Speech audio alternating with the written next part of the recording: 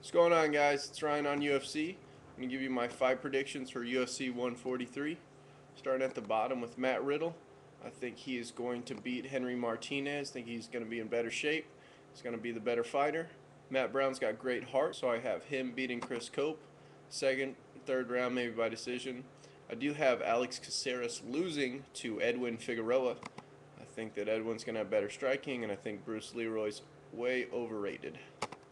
Um, I think Holloway's going to win his fight.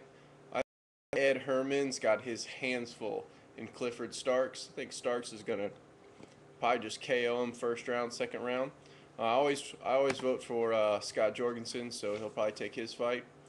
And then for uh, Josh Koscheck, well, they got a terrible picture of Mike Pierce on this thing, but I think gosh, I think uh, Josh Koscheck will probably win that fight.